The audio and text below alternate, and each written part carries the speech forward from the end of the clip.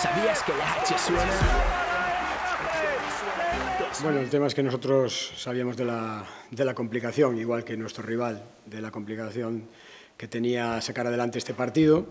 Y en nuestro plan de partido, eh, que sabíamos que iba a ser un partido igualado, con, con alternancias, como así ha sido en el marcador, eh, teníamos que intentar evitar ese final igualado o llegar de una manera un poquito más holgada a los últimos minutos, porque sabemos que Cáceres eh, en estos momentos, con la incorporación de talento tan grande de jugadores que ha tenido, tenía muchos focos que eran difíciles de tapar para nosotros. Entonces no se trataba solo de un jugador concreto, sino de tres o cuatro jugadores que podían hacernos daños en estos últimos minutos y al final ha sido eso. Hemos entrado con creo que cuatro puntos y nos han enjuagado la diferencia muy pronto y en los últimos minutos ha salido a relucir este, este talento del rival con unos fallos nuestros que sigo apostando por los jugadores que han tirado esos tiros, porque están bien tirados y hemos conseguido tiros solos, pero ellos tenían en ese momento más, más talento en la pista en un partido igualado y se lo han llevado en los últimos dos minutos de manera merecida.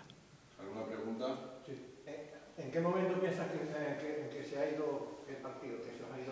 el partido? A nosotros se nos ha ido con, un dato estadístico, que es que nosotros, en un partido que habéis visto que ha sido tan trabado, eh, tan duro, tan difícil de llevar por todos, o sea, que han trabajado todos, ha trabajado jugadores en pista, banquillos, árbitros, ha tenido que trabajar el público, todo el mundo ha tenido que trabajar para sacar adelante este partido. Y hay un dato que es que eh, Cáceres consigue 19 puntos tras pérdida y nosotros conseguimos 4.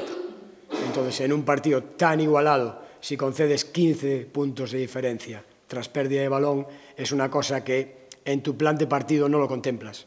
Tienes que tener mucho más cuidado por el, por el balón, no permitir que un jugador como Hasbrook, que defiende eminentemente el sistema, porque no tiene piernas para, para poder defender el, eh, de manera normal, entre comillas, la situación, pero es muy, muy, muy, muy listo para, para ir a esos robos de sistema, nos consiguen esos 15 puntos de diferencia, entonces no podemos competir. Aún así, aún así, poco a poco y remando mucho, lo hemos llevado a la última situación. Y cuando tenemos cuatro puntos arriba, creo que es 83-79, si no me equivoco, ahí creo que, la fastidiamos y que dejamos que nos enjueguen con jugadas muy rápidas y sin llevarnos al tiro libre eh, el equipo. Pero más, más que un momento exacto, creo que es la suma de esas situaciones de hacer un par de acciones bien, pérdida de balón, un par de acciones bien, pérdida de balón y contraataques, porque además esos puntos son puntos, entre comillas, gratis, porque se roban en primera línea y acabas haciendo una, una bandeja. Entonces creo que más ha sido eso.